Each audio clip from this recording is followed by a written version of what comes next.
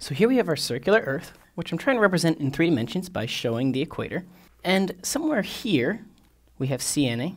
And somewhere here, and I'm going to exaggerate this distance to make the drawing easier, we have Alexandria. Now, to begin solving this problem, Eratosthenes did what physicists often do when they're tackling a really difficult problem. He made an assumption. And now, the assumption that he made was that the sun was so far away, way, way, way off the screen, that when the sun's rays arrive at the Earth, they're coming more or less parallel, no matter where on the Earth you are. Now, these lines are parallel. We assume they'll never touch.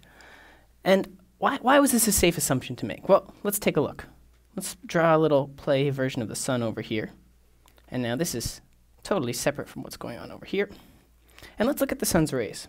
Here they are, radiating outwards from the center, from the sun. And you can tell that they're certainly not parallel. But what happens is we get really, really, really far away from the sun, like way out here. Well, we've got more rays like this. We can start to see that if we're really far away from the sun, maybe if our Earth is over here, well, in this neighborhood, the rays do look more or less parallel. They're not exactly parallel, they seem to be diverging a little bit, but maybe it's good enough for our, for our purposes. We'll examine this more in the homework. Okay, so we have our rays arriving parallel at Syene and Alexandria. Now what? How am I supposed to figure out the circumference of the Earth based on some parallel rays and the observation that they're striking vertically here at Syene? Well, before we jump into the calculation of the circumference, let's try and understand what's going on here first.